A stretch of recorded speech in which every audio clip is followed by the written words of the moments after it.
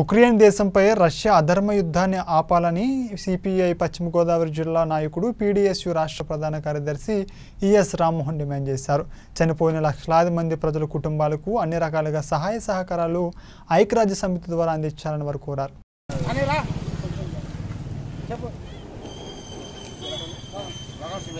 ఆపాలి యుద్ధాన్ని వెంటనే. ఆపాలి. సామాన్య ప్రజల ప్రాణాలను బలుగుంటున్న యుద్ధాన్ని వెంటనే. ఆపాలి. ఖండించండి ఉక్రెయిన్ పై దాడులను. ఖండించండి. ఖండించండి ఉక్రెయిన్ పై దాడులను. ఖండించండి. రష్యా చేస్తున్న దాడులను. ఖండించండి. ఉక్రెయిన్ పై రష్యా చేస్తున్న దాడులను. ఖండించండి. ఉక్రెయిన్ పై రష్యా చేస్తున్న యుద్ధాన్ని. ఖండించండి. ఉక్రెయిన్ పై రష్యా చేస్తున్న యుద్ధాన్ని. ఖండించండి. ఉక్రెయిన్ దేశంపై రష్యా బాంబులతోటి మిసైళ్ళతోటి యుద్ధ విమానాలతోటి యుద్ధ ట్యాంకులతోటి అనేక రకాలుగా దాడులు చేస్తుంది. వేలాది మంది అటు ఇటు కూడా చనిపోతున్నారు. ఇటువంటి చర్యని మా సిపిఎంఎల్ న్యూ డెమోక్రసీ తీవ్రంగా ఖండిస్తుంది.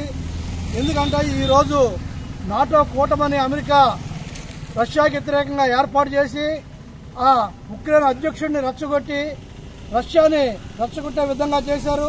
దాంట్లో భాగంగా ఇదే అవకాశంగా తీసుకున్న రష్యా కూడా ఉక్రెయిన్పై ఏకపక్షంగా దాడి చేస్తూ అక్కడ వేలాది మంది ప్రజల మరణానికి కారణమవుతుంది అంతేకాకుండా లక్షల కోట్ల రూపాయల ఆస్తులు బిల్డింగులు కానీ ఫ్యాక్టరీలు కానీ అనేక రకాల మొత్తం మానవ నిర్మితాలు అన్నీ కూడా ఈరోజు ధ్వంసమైపోతున్నాయి. ఇది దుర్మార్గమైన చర్య. అంతేకాకుండా ఈరోజు ప్రపంచానికి కూడా ఒక పెనుముప్పుగా ఈ అనుయుద్ధ అనుయుద్ధం లాంటిది ఏర్పడింది. ఈ యుద్ధం వల్ల ఇప్పటికే మన భారతదేశంలో కాకుండా ప్రపంచవ్యాప్తంగా ఈరోజు మంచి నూనె కిలో పన్నెండు రూపాయల నుంచి పదిహేను రూపాయల వరకు పెరిగింది. పెట్రోల్ కూడా విపరీతంగా పెరిగిపోతుంది. మొత్తం ప్రపంచం అంతా ఈ యుద్ధం వల్ల అతలాకుతలం అయ్యేటువంటి పరిస్థితి ఉంది. అందుకనే ఈ యుద్ధాన్ని వెంటనే నిలుపుదల చేయాలని చెప్పి రష్యాని డిమాండ్ చేస్తున్నాం.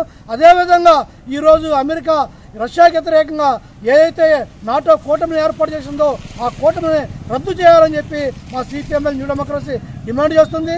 అలాగే ఈరోజు భారతదేశ విద్యార్థులు వైద్య వైద్య చదువు కోసం వెళ్ళి ఇరవై వేల మంది ఉక్రెయిన్లో చదువుకుంటున్నారు.